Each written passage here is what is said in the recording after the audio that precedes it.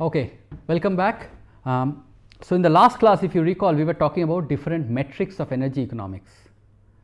And what we discussed were we, so far we have covered three such metrics. The first one is called EROEI, the second one is payback period. And the third one let us also write down this we denoted by N star. And the third one this was N star third one we discussed was return on investment.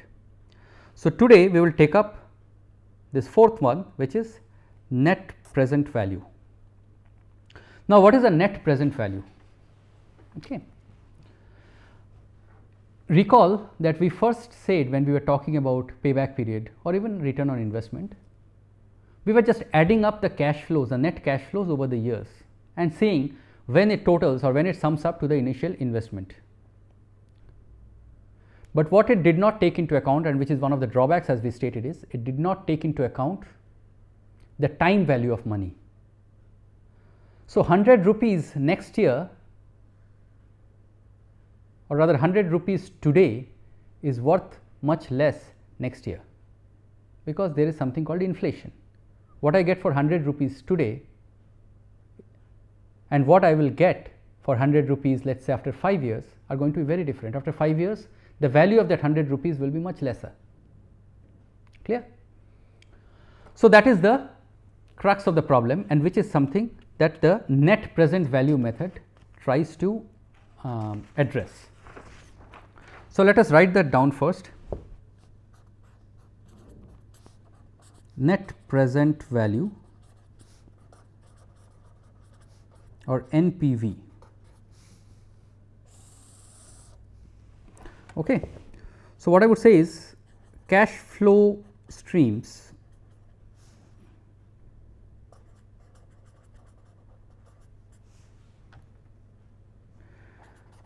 at different points of time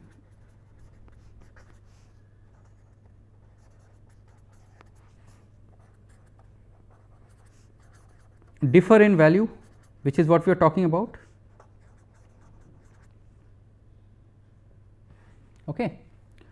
So, we comparison is possible only let us say in terms of a common denominator.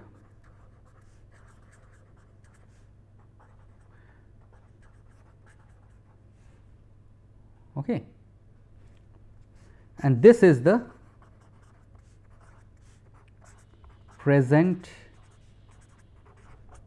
value. All right. So, I am sitting here today and trying to decide whether I want to put in some money to build a power plant and the person who has come to me with the proposal is saying that you know once this power plant is up power plant is up and running in the year 2025 you are going to make 20 crores. So i i would say 20 crores is is a is a lot of money. But what i'm going to say is wait a second. You are saying 20 crores but that is in 2025 so what is it worth today? Okay. And so i'm going to think about 20 crores in 2025 is not the same as 20 crores of today. So, what do I have to do? Okay. So, that is where the present value concept come in. Okay. So, what I will do is I will introduce a term which I will refer to as R and I am going to talk about it. I will talk I will that is typically in or generally in economics jargon it is known as the discount rate R. Okay. So, it is also sometimes called opportunity cost,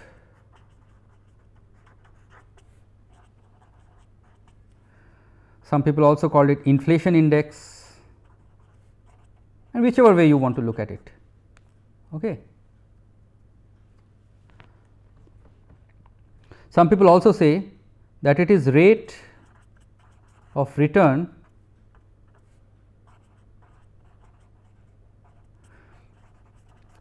that could be earned on investment. What I am trying to say is instead of putting this money in the power plant, if I put it in the bank, I would have earned some rate of return. Okay. So, in the economics jargon when we are talking about present value, that rate is called the discount rate or R. All right. So, therefore, what is the present value? I would say P v equal to present value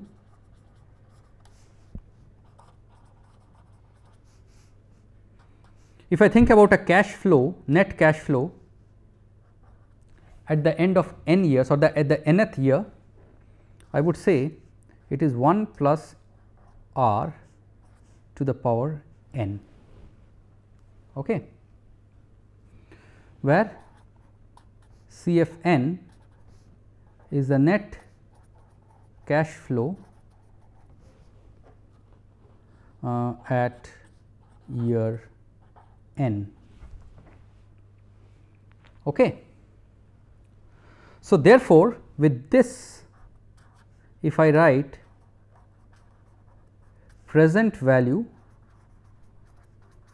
of an energy installation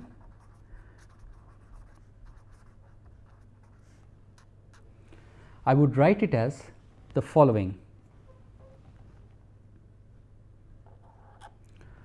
I would write it as C f of 1 divided by 1 plus r to the power 1 right plus this is all the cash flow that I am going to generate. So, if you say what is the value of your energy installation I would say oh you are going to make 10 crores in the first year 10 crores in the second year 10 crores or 5 crores in the third year and I can add up all that. But what I am going to ask, the investor is going to ask is well what is that 5 crores at the end of third year value today? What is the value of that 5 crores at the end of the third year if I look today? So, he is going to use this present value method. So, this is going to be C f 2 1 plus r to the power 2 plus blah blah blah blah blah and then C f n 1 plus r to the power n. Okay. Plus I would write something else which is called salvage value S v. What is salvage value, value? If I have a plant whose life is n years okay, and at the end of the n year the plant has to be stopped, okay, it will go out of production probably it will become obsolete or it will become worn, it will degrade and no, no longer operational economically viable to operate and so on. So, at that point what will I do? I would like to sell off that plant. So, that is the salvage value.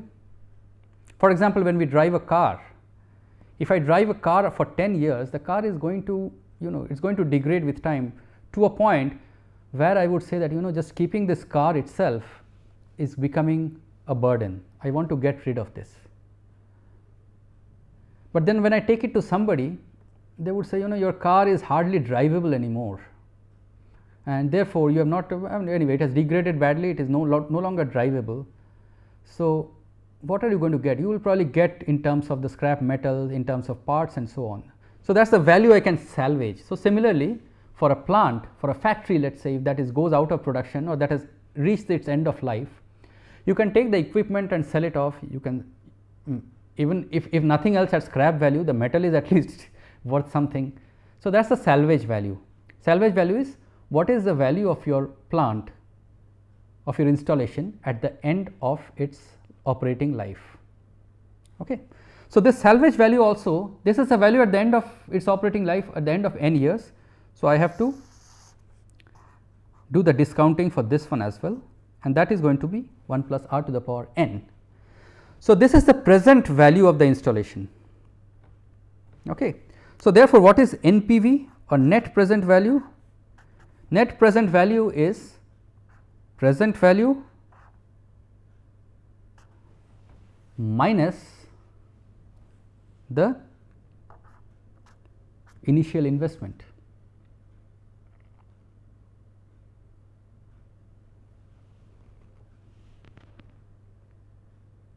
Okay. And also I would say minus the present uh, or I would write it down as the following present value of cash outflow okay, which includes initial investment,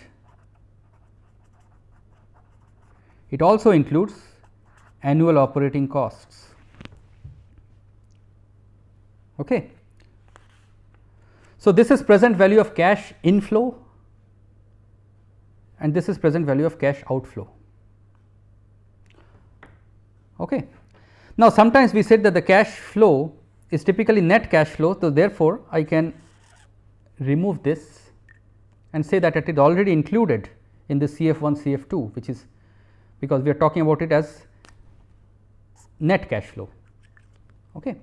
So, the reason I wrote this and then struck it off is just to underline the point that you need to know while calculating NPV, you need to know all this. If somebody tells you a cash flow, oh, I am going to give you the cash flow of this, this, this, this, you need to ask, okay, is this cash inflow or is this a net cash flow?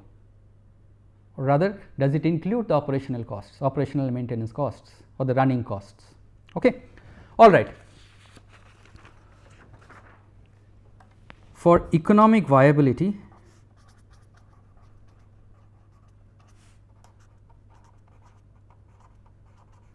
it is very obvious that NPV must be greater than 0 right or much much greater than 0 I would say because if you are looking at it as an investment the net present value calculated in this manner should be much much bigger than 0. Okay. Let us just spend a few more seconds on this.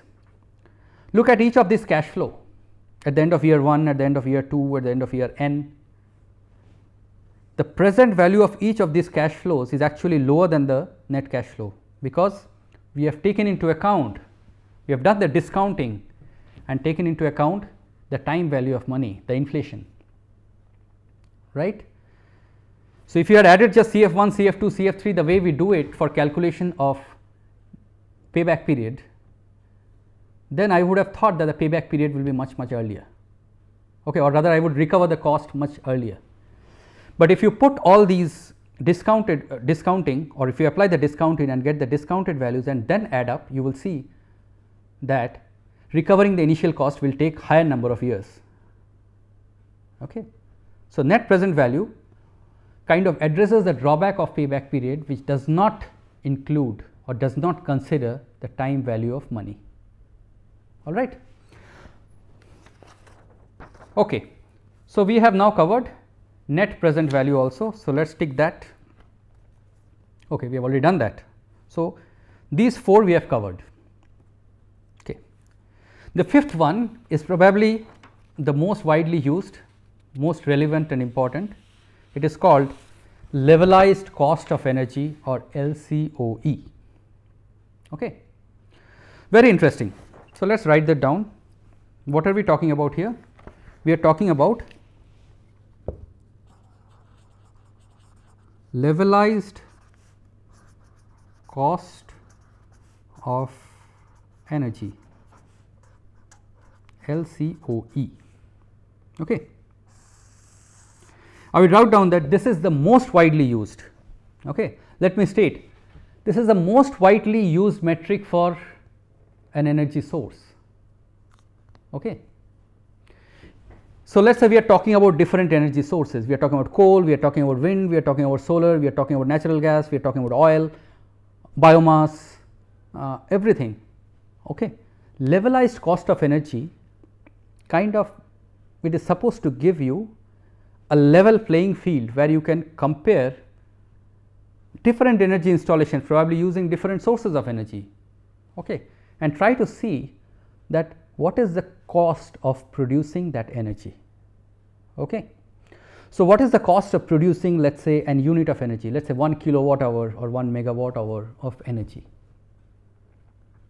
Okay.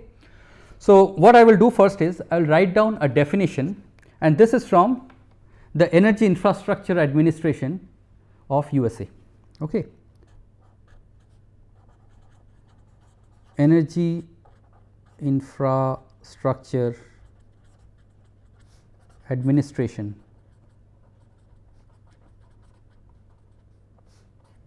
EIA from USA. What do they say? It says that LCOE, it is defined as this manner, is often cited as a convenient summary measure. Okay. Mark the words convenient summary measure of the overall competitiveness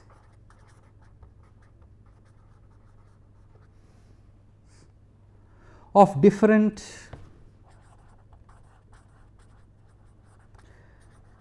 generating technologies. Okay. So, let me kind of underlines convenient summary measure, overall competitiveness,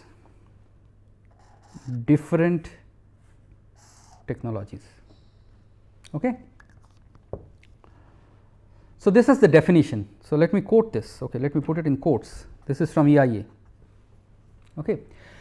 The EIA also say states that it presents the per kilowatt hour cost of building and operating a generating plant remember per kilowatt hour that is one unit of energy. So, it represents the per kilowatt hour of building and operating a generating plant over an assumed life and duty cycles. Okay. So, there will be an operating life cycle and during the life cycle there will also be duty cycles of the power plant. I am going to talk about what duty cycles are in a minute. So, we have to take all this into account and LCOE gives you a measure of the cost that is incurred to produce one unit of electricity let us say 1 kilowatt hour of electricity for both building and operating the plant mark my words building and operating the plant. Okay. So, what is it? So, what I can say is this cost from what, what we just said the cost is levelized over this life. So, let me write that down. So, for LCOE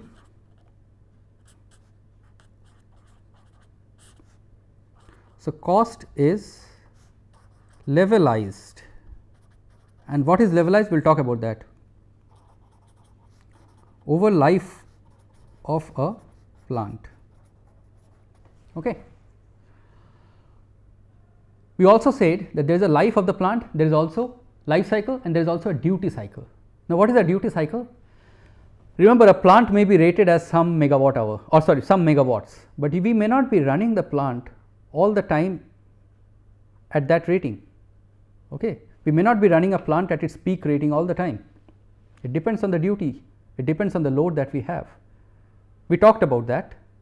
Okay. During off peak hours if we run at a peak load if during off peak hours we produce more electricity during uh, which we said that there and, and we, we discussed that during energy storage technologies. But what we are trying to say is the duty cycle of a plant may vary from one period to another okay, from one season to another from one part of the day to another part of the day.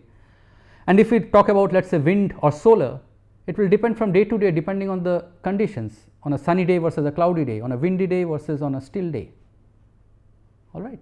So, duty cycle does change and we have to consider that also when we talk about calculating LCOE. All right. So, this helps in comparing installations on a I would say level playing field. right? On a level playing field. Okay fair comparison. For example let us say i want to build a solar power plant or a wind power plant. The initial cost of building the power plant is going to be large right? The solar panels are expensive. The pv cells are expensive if we talk about solar photovoltaic. Okay. But once it is installed the annual operating cost is going to be very low. Apart from manpower the operation and maintenance is not going to be that expensive. We have to periodically clean the panels and that is about it. All right? No fuel. Compare that to a natural gas plant the installation cost is going to be much lower compared to a solar plant. But then over the years the operating cost will be much higher especially because we will need fuel. So, therefore, today if we talk about standing today and looking at two installations that are coming up I would say solar may appear or look to be much more expensive. But if we look at the expense over its entire life cycle then we do not know what is going to be because its operating cost after installation is not going to be high, whereas a natural gas even though the installation is going to look cheap today, but over the period it is going to be much higher. It is like let us say a car running on gas or gasoline or petrol and an electric car. Electric cars are much more expensive. But when, when I when I have bought it and when I am using it the fuel costs are going to be much lower. So, therefore, we do all these calculations and see that is it worth owning a worth buying an electric car today. We are again not talking about the environmental impact and all those are also equally important, but only from cost point of view we do these calculations before making the decisions right. So, that is also I want to mention that it is important to note that final decision final uh, or final comparison or final decision on which installation to go for if we are really making a choice. Does LCOE is not the only criterion okay? There may be many other impact factors. There may be environmental factors there may be social factors there may be political factors and so on okay? So LCOE is not the only criterion but it's a important criterion okay? So let me just write it down here what we talked about solar versus natural gas. Here this one is high initial cost, low operation and maintenance and here lower I would say I will not say low lower initial cost or installation cost, but higher operation maintenance. Okay. All right. So, we, we looked at the energy uh, EIA of USA their definition. I will just write down one more definition because it is important to know these. This is from the UK government.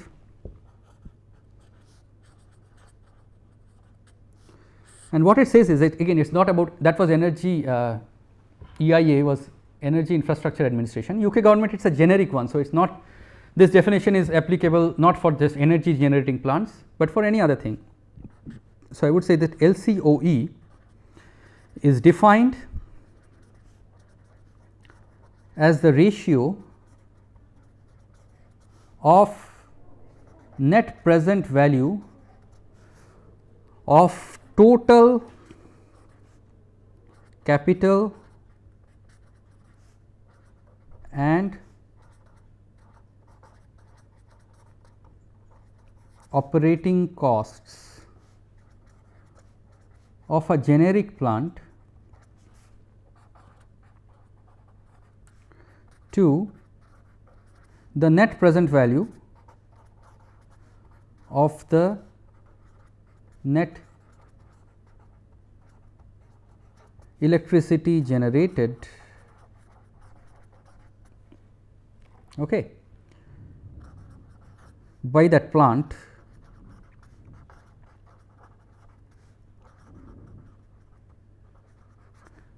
during its operating life. Okay. Again this is also quotes and uh, let me underline some of the good major points. Net present value, we learnt net present value just before this. As we will see here that discount rate is going to be used heavily when we look at the definition of LCOE.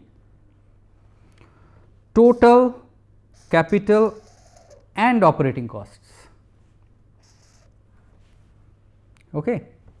And again NPV of the net electricity generated.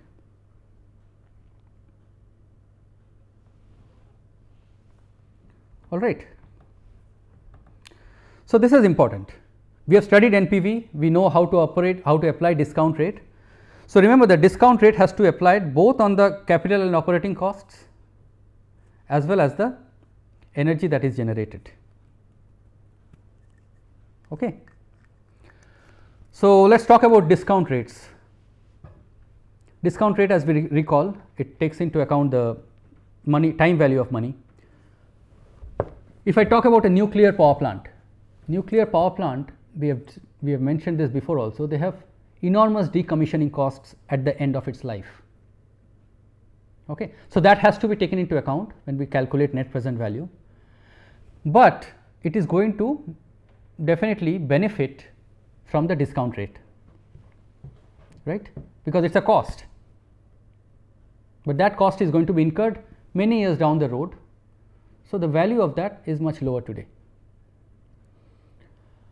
On the other hand, if we talk about a solar or wind installation where the initial cost is high, we are not going to be benefit much in terms of the cost, we are not going to benefit much due to discount rate, right. So, discounting does help in some cases, discounting does not help in, in case of plants where the, in, where the initial cost is high and the subsequent costs are lower. But anyway, so we will take all these into account and define what is LCOE in the next class and see what all it encompasses due to which we say that it is one of the more fair metrics for comparing different energy installations or energy generating units. Okay. Thank you very much. We will continue with LCOE in the next class.